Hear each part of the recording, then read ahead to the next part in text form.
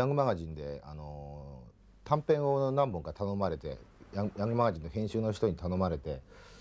それを2本ぐらい書いてから連載をしてくれないかっていう話でしたんで、えーじゃあ連載っていうのはあまりやったことなかったんですけどもじゃあやってみようかということで、えー82年ですかね。その時にまあその SF のアクションものをやってくれっていうことでしたんでその自分なりにそのそれまでいろいろ SF みたいなもの書いてたんですけどもっとその連載していきながらその読み物として、えー長いストーリーを作ってみたいなっていうのがありましたんでそれで始めて、えーその前にその SF の、まあ、単行本っていう形になってないやつもあるんですけど SF を書いてましてそれがあの最初あのほとんど SF っていうのが初めて書いたやつがその「ファイアボール」っていう作品ででファイアボールっていう中にはそのコンピューターの名前がアトムっていうんですよね。アトムっていうのはそのやっぱり手塚治虫の「鉄腕アトム」っていうのが、えー非常にありましたんでその手塚治虫の「鉄腕アトム」に何でしょうね捧げるっていうわけじゃないですけど僕は要するに子供の頃見て育ってきたそういう作品に対するなんか自分なりのその SF 漫画に対する自分なりの作品っていう感じで「ファイアボール」っていうのを作ってその次に、えードーム」っていう作品を作ってそれはえっちゃんっていう女の子が出てくるんですけどね超能力の女の子なんですけどそれがあの石森章太郎の「サルトビエッちゃん」っていう話がありましてそれもなんていうかそういう石森章太郎に対するなんていうかオマージュと言いますかねそういう感じなんですよね。それで「アキラの時にはこれもやっぱりそういうものがありまして、えーやっぱり横山光輝の「鉄人28号」をやろうかなっていうふうに。でそれはまあえー大まかなストーリーは「鉄人28号」とも言えないんですけどねもう全然あの最初のアイデアはそうだったんですけど書いていくうちにもう全然別のものになっていきますんでねですから残ってるのは何でしょう？金田と金田っていうのはその鉄人28号の中に出てくる金田翔太郎をイメージして書いたのとあとはその28号アキラが28号っていうのはその鉄人28号の名前なんですよね。でそれに鉄人28号の話っていうのがその昭和あじゃない太平洋戦争の前にその軍部が作った秘密兵器というのが現代によみがえって、えーまあ、そのストーリーを構成していくという話なんで、まあ、そういうところで言えば「アキラっていうのは非常に鉄人28号そのまあ肝骨脱退してるわけですけども 非常に鉄人28号っていうのが最初のイメージでしたね。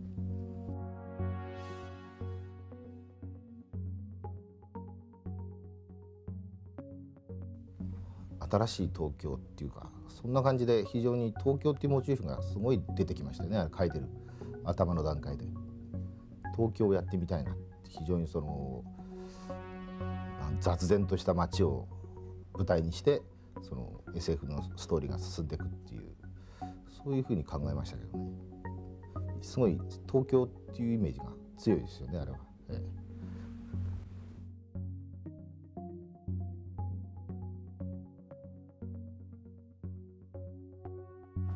ええ。そうですね。それは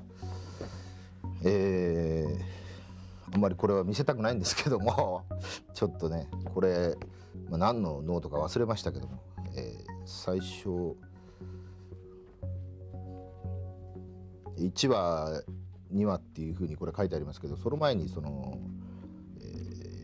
ー、大体全体の話を、えーこれ見開きになってますけども見開きでこれでね、えー一応全部話が終わってることになるんです。え最後の方ちょっと随分違いますけどね最初書き始めたのはすごいあの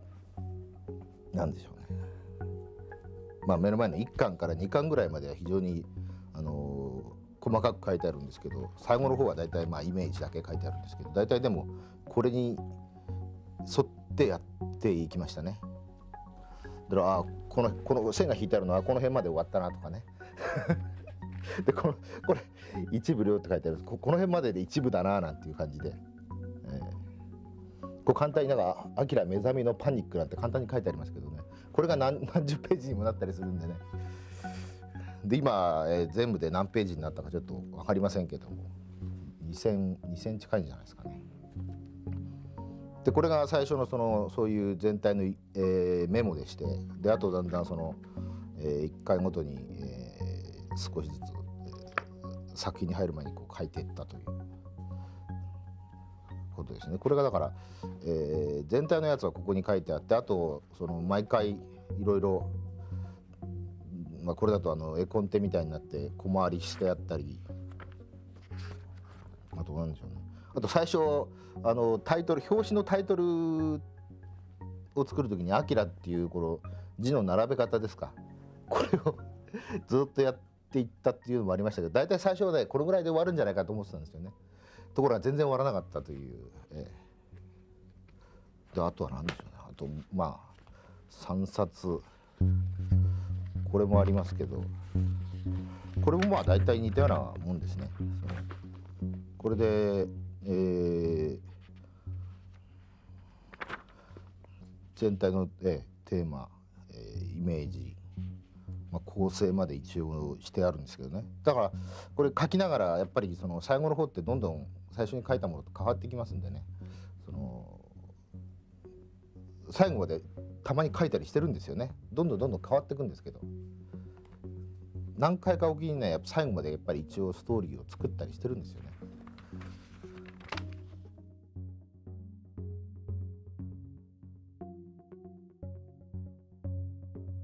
それは小学校ですね、ええ、それは小学校はやっぱり俺と同じぐらいの世代の人だったらみんなそうだと思いますけども石森章太郎の漫画家入門っていうのはやっぱりねありましたけどね。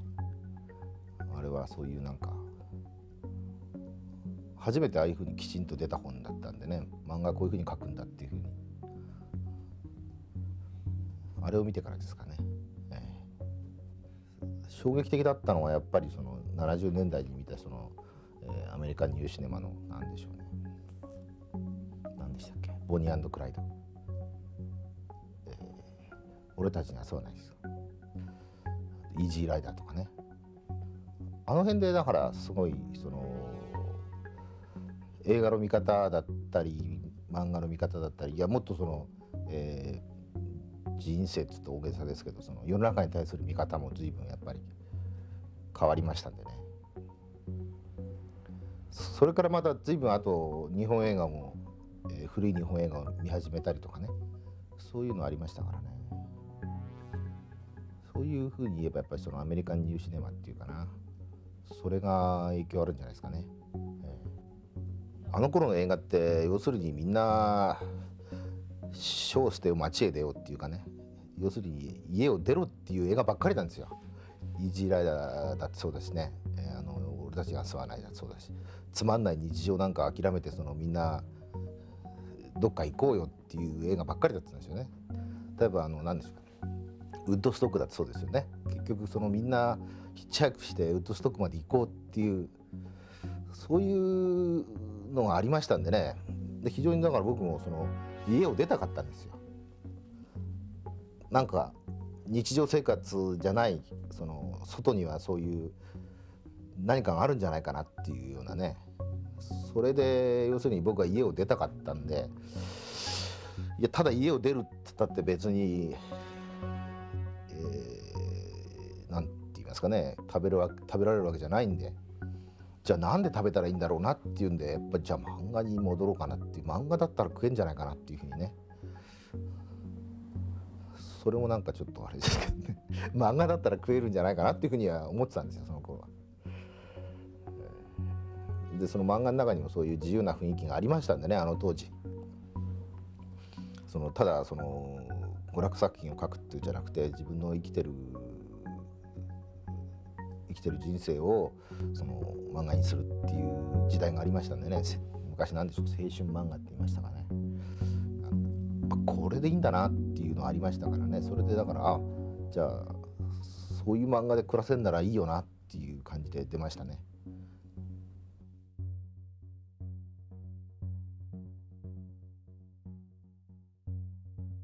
そうですね。やっぱり僕にとってアニメーションでっていうのはさっきもちょっと言いましたけどもやっぱり今にしてもやっぱりあの東映の、えー、昔の劇場の長編アニメじゃないですかね。やっぱり好きなのは「えー、西遊記」とか「あの白蛇伝」とかね。あと何でしたっけ「猿飛びサスケ」とかありましたよね。一時。あれがあの辺が大好きでしたね。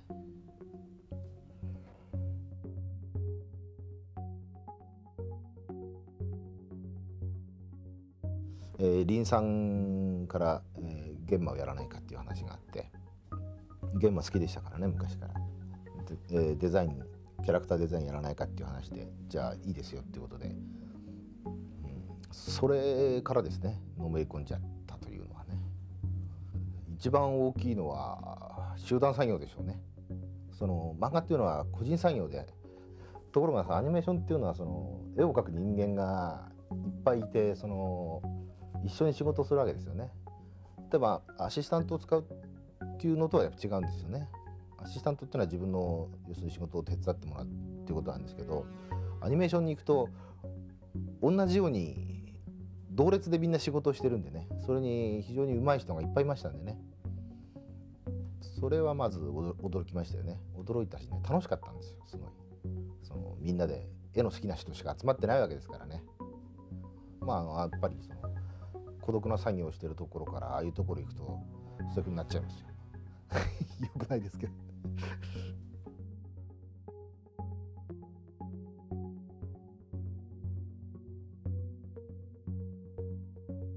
確かね、えー、工事中止命令をやってる時ですよ、えー、ちょっと何年か忘れましたけど。工事中止命令っていうアニメーションを最初に頼まれて、えー、1週間アキラをやってでそのまま次の1週間はその、えー、南阿佐ヶ谷のスタジオまで行ったんですよね。それで、えー、一緒にやってたアニメーターなんかと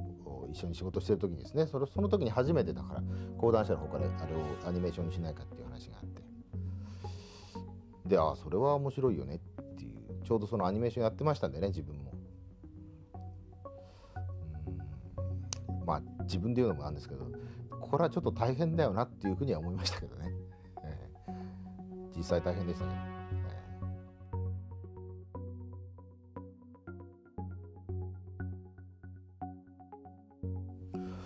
そうですね。やっぱりアニメーションにするっていうことでなぞるっていうふうには考えてなかったですよね。まずね。要するに別物だっていうふうに考えて、まあ、別物とは言いながら原作があるわけでそれも自分書いてるわけですから。まあ、それにのっとりながらやっぱりアニメーション独自の世界を作っていかなくちゃいけないだろうなっていうふうにまず考えましたけどね。それでやっぱりまずその長さですからね、えー、2時間以内でしょあれを2時間にまとめるっていうのがまず大変でしたけどね、えー、でそれはその当時まだラストを、えー、書いてませんのでね、えー、ラストまでいかなくちゃいけないっていうんであれはちょっとしんどかったですね。要するにえー、漫画の流れとはもう別になっちゃいますからね。結末を最初に作んなくちゃいけないっていう話ですからね。その結末を作るのは大変でしたけどね、えー、非常にねカッ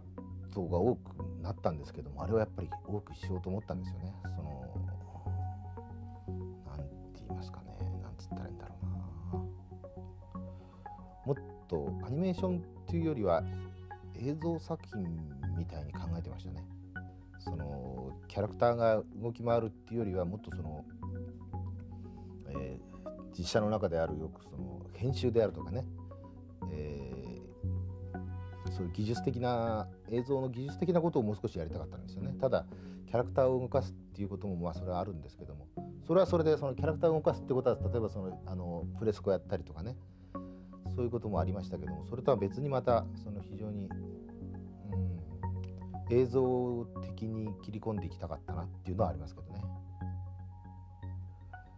で大体あんまりそのあのなんなんて言いますかね、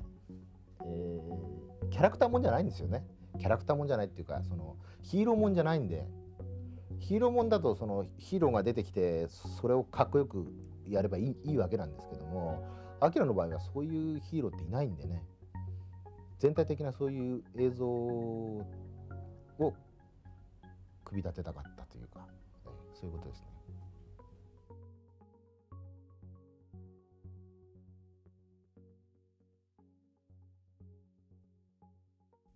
鉄王大丈夫か？助けに来たぞ。早くしろよバカ。急がないと外の奴らが。アニメーションっていうのはアップでセリフを喋って口が合わないと持たないんじゃないかなって気がしてたんですよね。そのなんでしょうね。ただ口パクだけじゃちょっと寂しいな。大きな画面だったらやっぱりアップだけはとにかくプレスコしたいなっていうふうに言いましたけどね最初かなりの部分までやってますけれども。そのプレスコがいいかどうかってのはまたちょっと別なんですけれども僕の中では、えー、言葉が最初にあればそれなりにその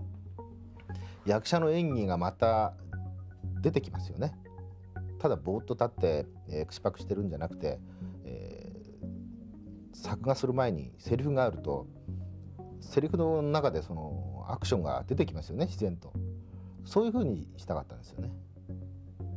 みんなやったことないんでね。やったことないんでみんな要するに戸惑ってしまうっていうのと、えー、アニメーターが自分の中で勝手にその想像してるものをかなり制限されてしまう。でそうセリフがあるっていうことでかえってその発想がアクションの発想が出てきていいっていう人間と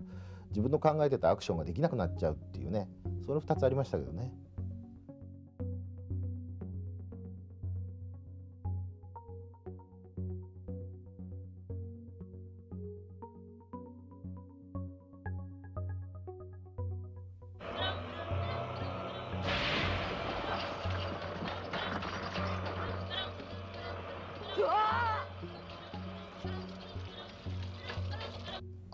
っていうのはその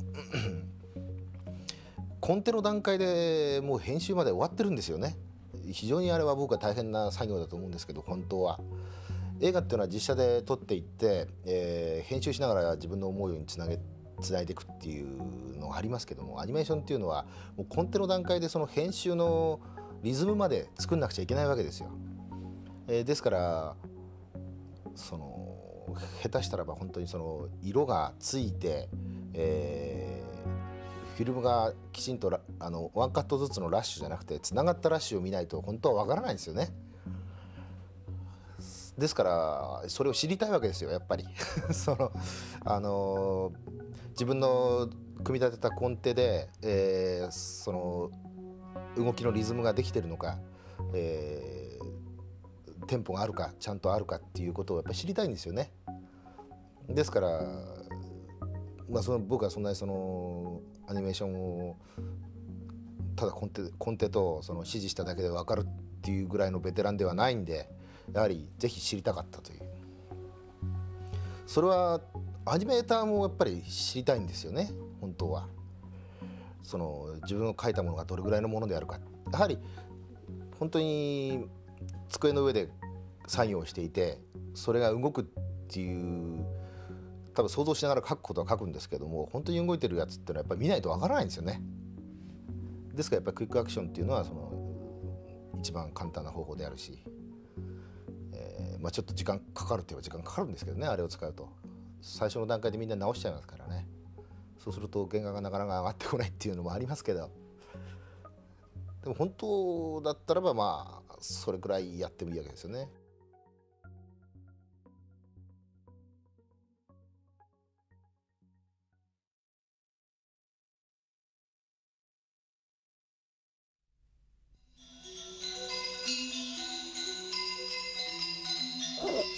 これが？そうですねコンピューターグラフィックっていうものを使った理由っていうのがさっき言いましたようにその非常にもっとそのアニメーションだけじゃなくてもっとその映像的にいろんなものを入れたかったということですね。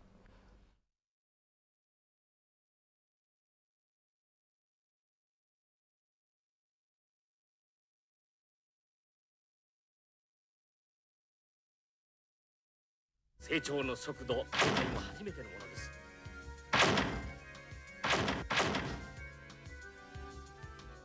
まあ、世界がその未来の東京っていうことですんでかなり本当は音もう少しね凝りたかったんですけどもね、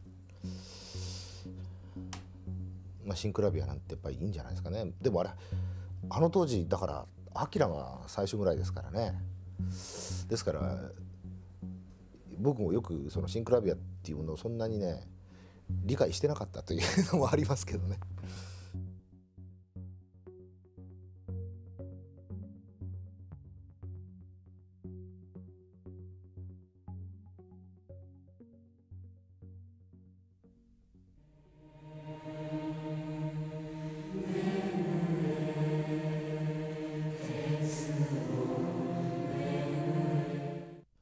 最初に、えー、山城組のあの、ブルガリアンボイスというのレコードがありましてちょっとタイトルは覚えてないんですけどそれを前に聞いてたのとそれとあとその後にあのケチャをやってまして、えー、合唱なんですよね、えー、どっちも合唱ですけど。それと、えー、非常にその1枚のレコードを非常に組曲風に作るんですよね。その1曲だけをそのえー、作って LP を作るというよりは、えー、トータルなアルバムを作ってる作っていたということでそのなんでしょうね、えー、そういう広がりがあるんですよね音楽の世界にね。ただ単にその楽曲作っておしまいってことじゃなくて非常によくその構成をしたりそのしてましたんでね。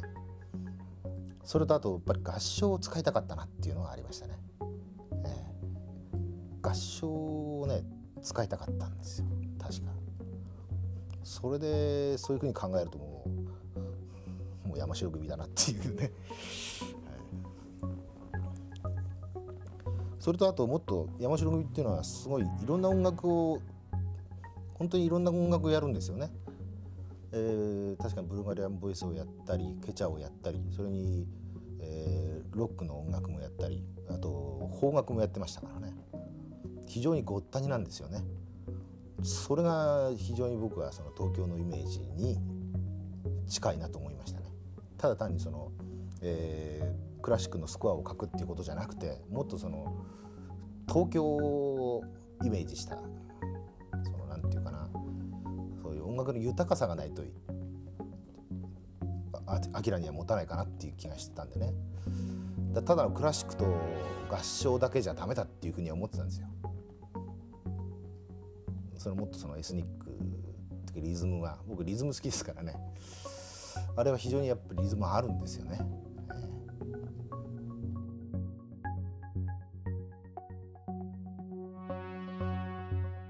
それは原作もその海外版アメリカ版が出たりヨーロッパ版が出たりしたんですけども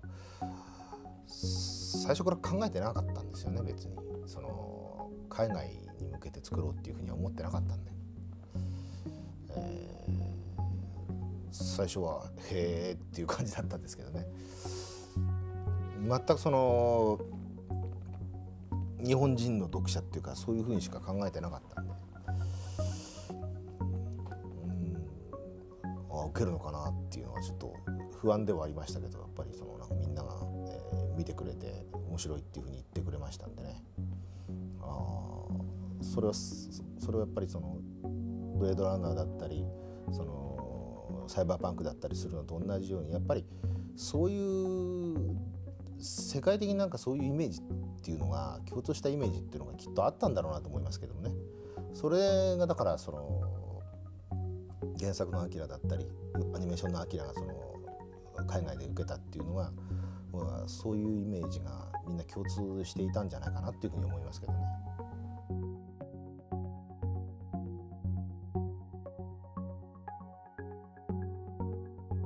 もちろん漫画もまだ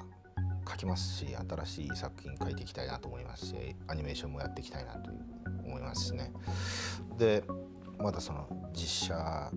もぜひやってみたいなと思いますしアキラぐらいのスケールのやつをもう一回やってみたいなと思ってますけどもね。それはアキラの中でできなかったこともっとし、えー、アキラの中でそこまで到達しなかった部分であったりそれをもうもう一回やってみたいのとそれともう一つアニメーションっていうものをもう少し、アキラとは違った形のアニメーションっていうものをやってみたいなと思いますけどねちょっとその具体的にどうこうっていうのはかなり難しいんですけど今アニメーションっていうのがやっぱりかなり新しくなっていくんじゃないかなっていう気は持ってるんですよね。その今までやってきたセルアニメーションっていうのと、えー、また別に発展してきたその CG コンピューターを使ったアニメーションっていうのが非常によく出てきましたんでねその別な形のアニメーションっていうのができていくんじゃないかなっていうふうに僕は思いますんで是非そっちの方もやってみたいですね。そのセルアニメーションいかにもセルアニメーションっていうのもやりたいんですけれどもその新しい形のアニメーション今ちょっとディズニーがかなりそういうあのコンピューターを対応してやってるというようなあれに近いものですかね。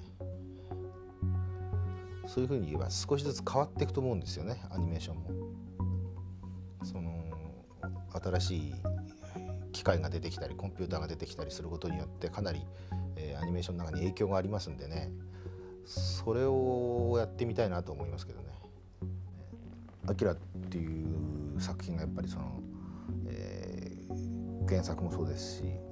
アニメーションも海外に行って、えー、そういう意味で言いますと、えー、非常にいろんな可能性が開けたんではないかなと思いますけどねそれは自分の可能性でもありますし、えー、日本のアニメーションであり日本の漫画でありそういうものもその、えー、可能性が開けたんではないかなと思いますけどもね。でそういうことそういう状況の中でそのこれからもっとその海外のいろんな作家であり作家漫画家であったりそのイラあのイラスト描いてる人間だったりだんだんそういう人間たちと一緒にやっていくようになっていくんじゃないかなと思いますけどもね、えー、これからアニメーションにもそのコンピューターが導入されてくるだろうなというのと、えー同じようにその人間ていうかスタッフって言いますかねアニメーターの考え方もどんどん変わっていくと思うんですよねこれから。で変わっていくだろうなっていうのと自分でもそれを作っていかなくちゃいけないんじゃないかなっていうふうには思ってますけどね。やっぱりただ単に「アキラっていう現象であったというふうに言われてしまうのはそれは、えー、自分にとっても良くないことであるんで、えー、自分でもやはりそのそういう状況からさらにもう一歩さらに進んでいきたいなっていうふうに思ってますけどね。それは、えー、他の人も他のアニメーターだったり漫画家の人も頑張ってほしいと思いますし自分もまだそれでそういう世界って言いますかねそういう広い分野に挑戦していきたいなと思いますけども。